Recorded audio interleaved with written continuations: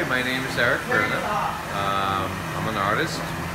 I'm part of uh, Easton Galleries, and it's been great. Um, I literally paid uh, for my gallery space with the uh, painting I sold because of it. So it's a great platform for people to look at art and to contact us.